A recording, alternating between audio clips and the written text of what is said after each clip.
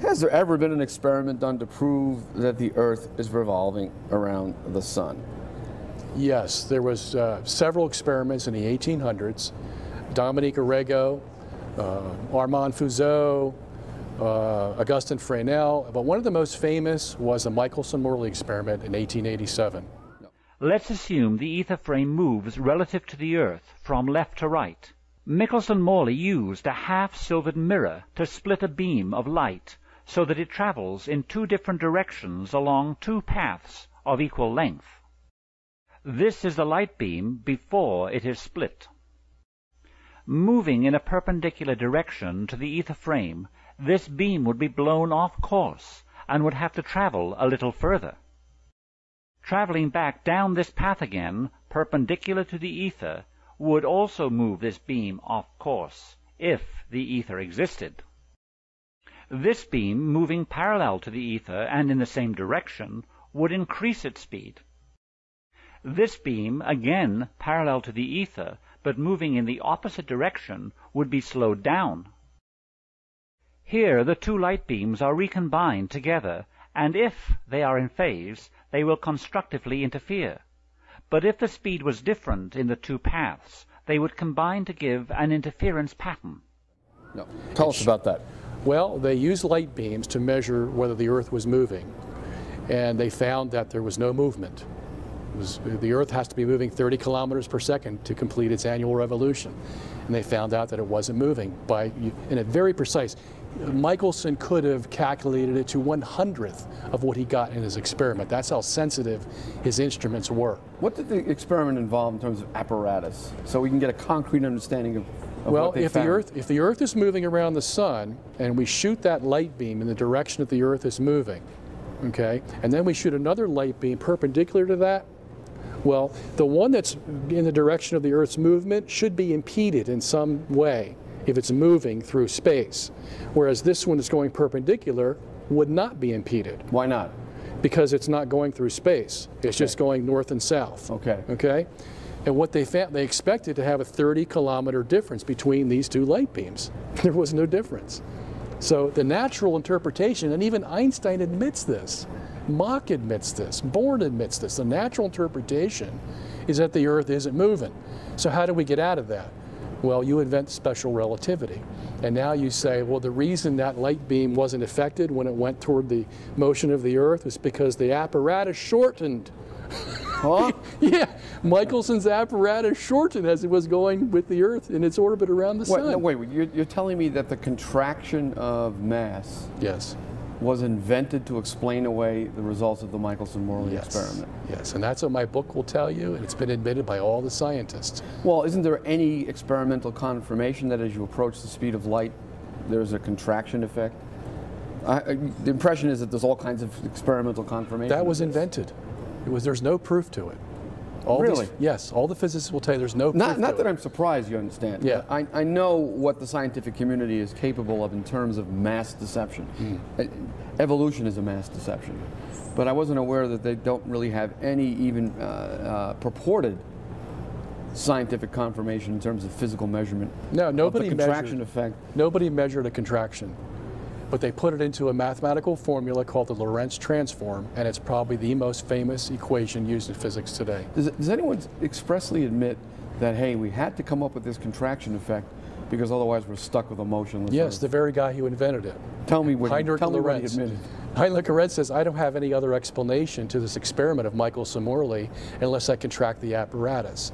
Otherwise, we're going to have to believe the Earth is standing still in space. Unbelievable. Yeah. Can you can you give a, an approximate page reference for me to your book? I want to go back and read that right away. I'll, I'll send you an email. I'll show you where it is. If a telescope is pointing at a star and both are stationary, then obviously the light comes straight into the telescope. In 1729, Bradley found that he had to tip his telescope forward very slightly to get a star in the center of his telescope. It was assumed that this was due to the motion of the Earth around the Sun. Let us assume that the telescope was moving at 5 mile an hour and had to be tipped 5 degrees. This 5 degree tipping, however, could equally be caused by the ether moving at 5 mile an hour, carrying the stars around the Earth.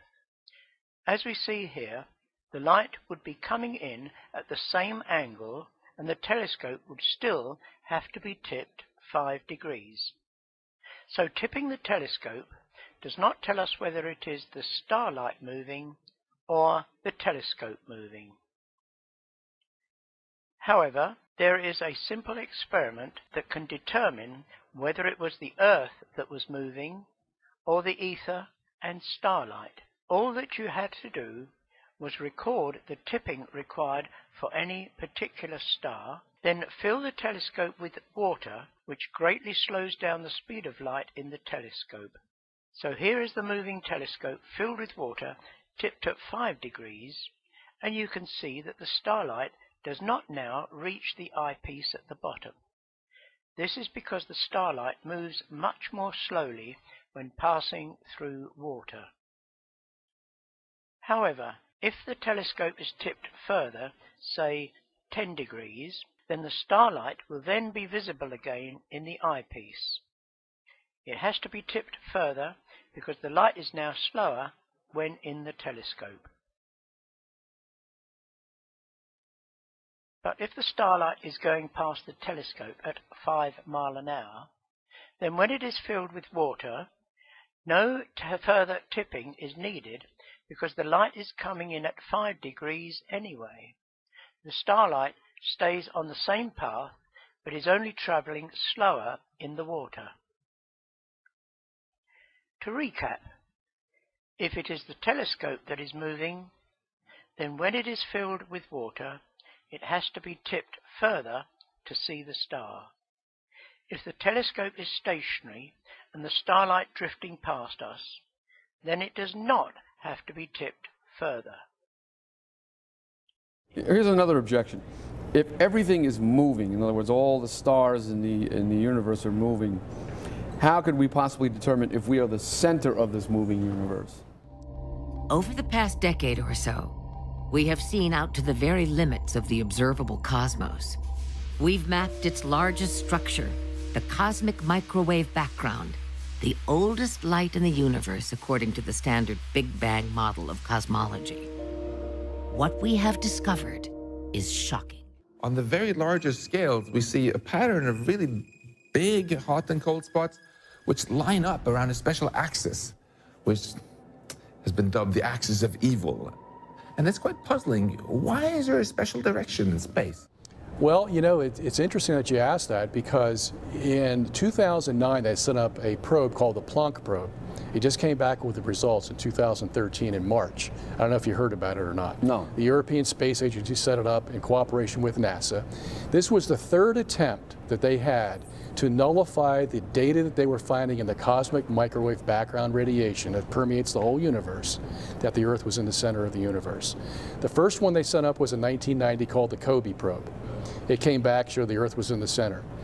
The WMAP was the second one in 2001, came back with the same data. And what they tried to do was say that this was all an error. It was some kind of misreading or it was, uh, there was contamination in the apparatus or the sky or whatever. So they sent up a third probe in 2009, just came back in 2013. Guess what?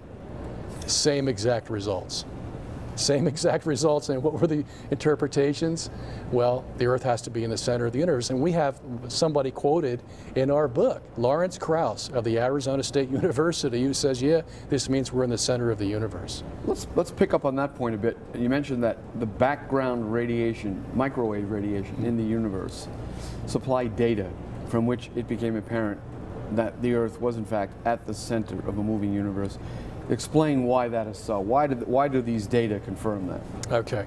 Well, the Big Bang Theory predicts that there was an explosion 13.7 billion years ago. Okay?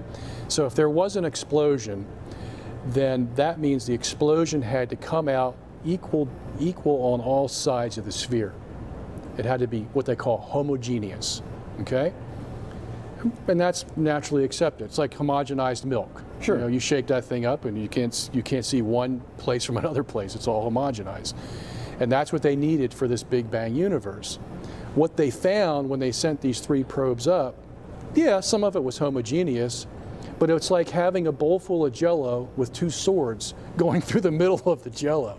What are the Okay? swords? What the swords are the orientation of the cosmic microwave background radiation throughout the universe. What do you mean by the orientation? Okay, there's, there's hot and cold spots they found. It's not homogeneous. There's hot and cold spots in this microwave background radiation, and if you align all these cold spots, it forms an X through the whole universe. Unbelievable. And guess what's in the middle? Oh, you're kidding. No. This is what the data shows. This is what the okay, data come on shows. now. What, what, what mainstream publication recognizes The this? University of Michigan, Dragan Huterer, Craig Copi, uh, Glenn Starkman. These are all the guys who have done all the work on this microwave radiation. They write it in their papers. They wrote one in 2004, 2008, 2010, and 2012, and they're writing another one on the Planck probe. So you're saying these space probes were designed to explain away the X represented by the hot and cold They wanted spots? to make sure it wasn't an accident. Okay, so there, were- there were how many probes in total? Three in 20 years, And you're saying that all three confirmed what then? That the Earth is in the center of the universe. On the basis of the hot and cold spots? Yes. Whose alignment represents an X. An X. And at the center of the X is the Earth. Right, and they call that X the axis of evil. That was coined. Scientists call that the axis of called evil. it the axis of evil. that was coined in 2004 when Bush went into Iraq. Remember, he called them the axis of evil. So this cosmologist just picked it up, and said, "Yeah, well, here's the axis of evil right here in the universe." So, in other words, they're enraged by the finding. Oh, yeah. Because it upsets their worldview, which Yeah. has to displace the Earth's special position in the universe. Yeah. Which fits in rather nicely with a divinely created universe. Right. All of- made for man. All of cosmology is based on what we call the Copernican principle. Every piece of data that they get in their telescope has to be filtered through the Copernican principle. And that's what the Big Bang Theory does, NASA does it, ESA does it, everybody does it. The, the upsetting thing about this microwave radiation is it just totally defies the Copernican principle. The last probe confirmed that as well, you say? The last probe, yeah. As a matter of fact, where was that result reported? Obviously everywhere, but give me some examples. uh, March 21st in the European Space Agency report. As a matter of fact, it's in our movie. What's their attempt to explain the latest probe's findings away? Anomalies. Anomalies? Mm-hmm. And all the, anom- the anomalies conveniently line up in a non-anomalous way to verify their model. Right. Uh, this is amazing. So this, this brings us to the question of motive. We've been hinting at it throughout Mm. the discussion. There's obviously a motive at work here. I, I- w- many people have recognized, not just believers, not just Catholics, but people like David Berlinski, for example, that science has become an ideology. Mm. Maybe you could take up that theme uh, as we close out this interview. Yeah. Isn't there an ideological component? Yeah, I, I would even go so far as to say it's a religion. Science is a religion today. It's scientism. Uh, and they've already got the parameters within they want to, within which they want to interpret the data, and they're not going to go outside those parameters. This is a perfect example. Uh, you do get some of them that break out of it, and they say, "Yeah, well, this defies the Copernican principle." We've read many papers like that, and we quote them in our book.